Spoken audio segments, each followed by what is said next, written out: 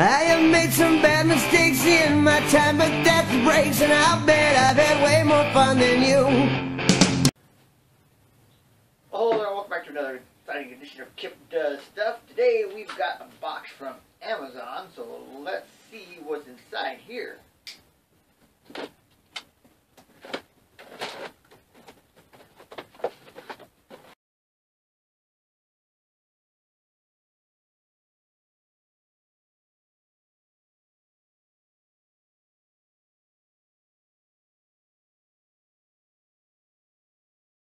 Okay, in this box here is the Y-axis extension for my Genmitsu 3018 Pro CNC router.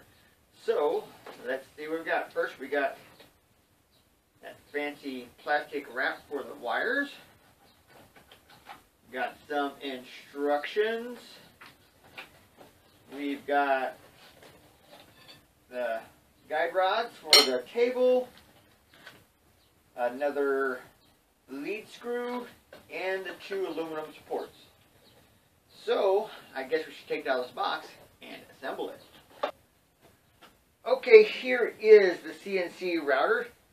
Now we need to pretty much disassemble the entire machine. Disassemble the entire machine. So I'll start by taking off the gantry, and uh, I'm going to leave this I think I'll take the spoil board off also. So let's get started.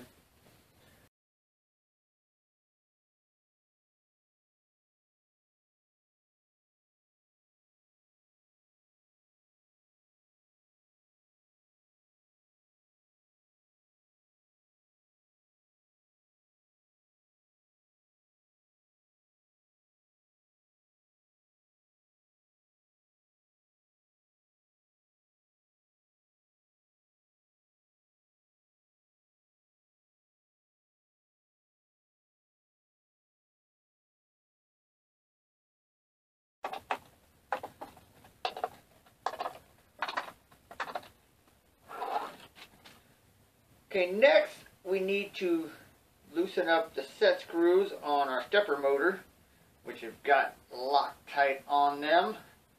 That might be difficult. Okay, that moves freely. Now we'll take all the screws off the front edge.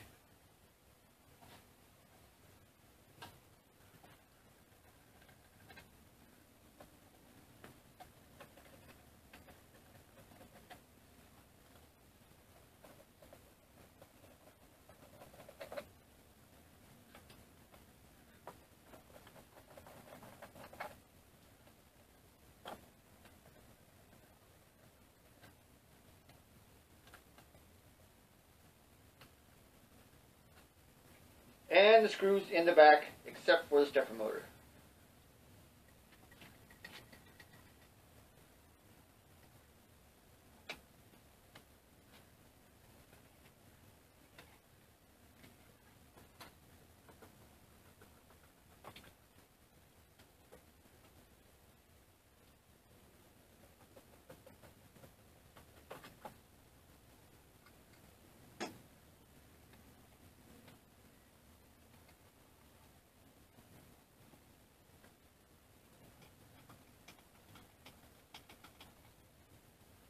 Now we can slide out all the nuts that we'll need and remove the front.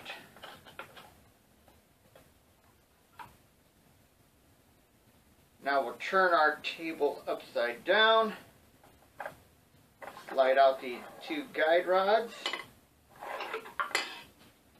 and remove the lead screw, making sure not to let this T-nut blast out of there and throw that bushing across the room.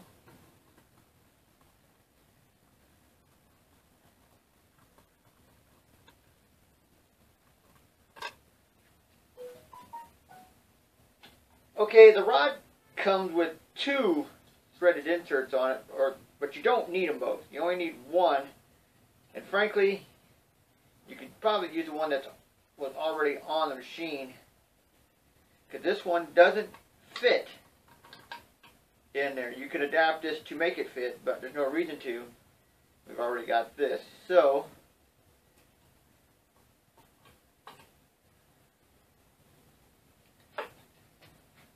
let's install the threaded rod.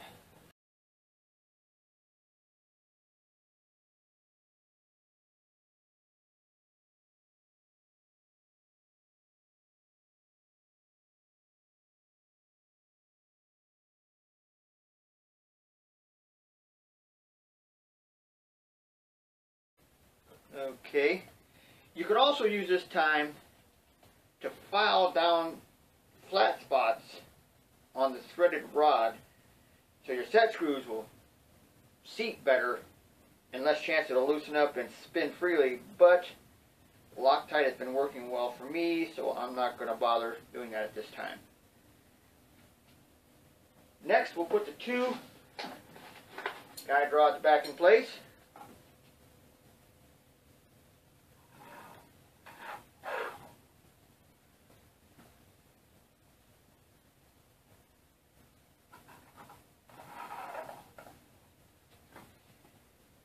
flip it over, and we're ready for reassembly. Now we have our guide rails. We can attach them to the rear first.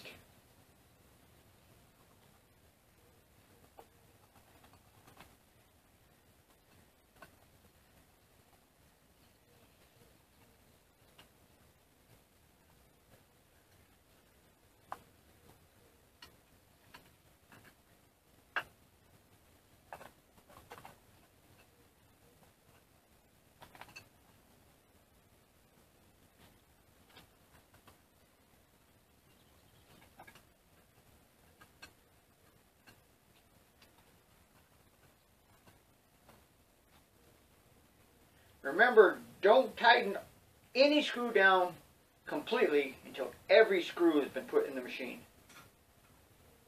Now we can slide our threaded rod back into our coupler.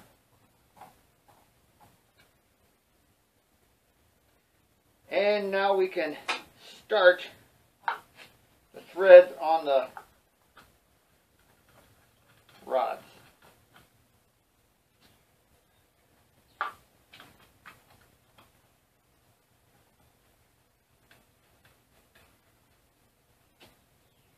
Now we can reinstall the front, making sure we get that lead screw in there first.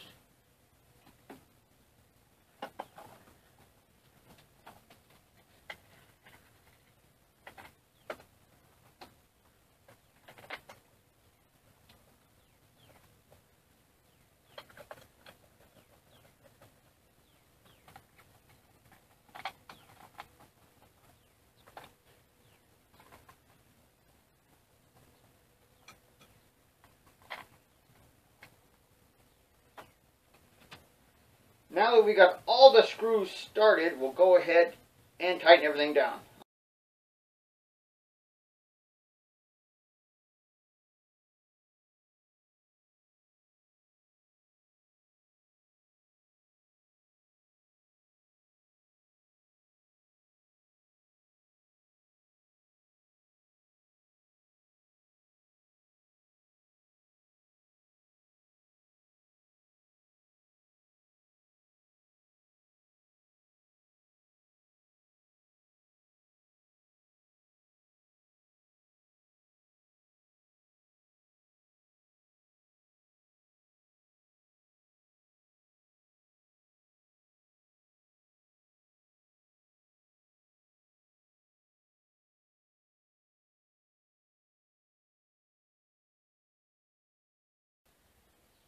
Okay, all the screws have been tightened down. I'm going to give it a little twist my finger to see how easy the lead screw turns and hopefully we won't have to do any readjusting to get the table to move smoothly.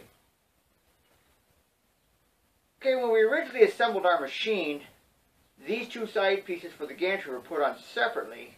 So I'm going to remove my right side because there's no stepper motor and reassemble it again according to the original instructions.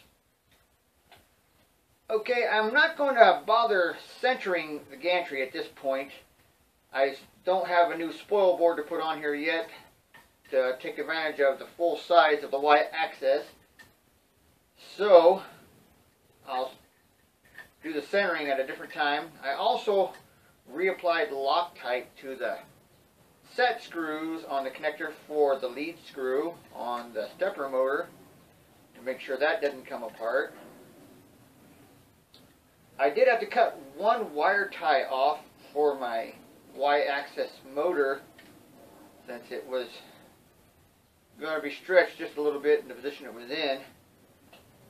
I don't think I'm going to have to extend the length of any of the wires though, but I will probably do a little bit different rerouting and have to come up with a better way to hold these up to keep them away from the spoil board as it moves back and forth. But other than that, that's really all there is to it. You take the machine almost completely apart, and you put it back together again. I think this is going to be a good thing, and I can't wait for the Loctite to dry, get a new spoil board, and I get to try it out. Thanks for watching.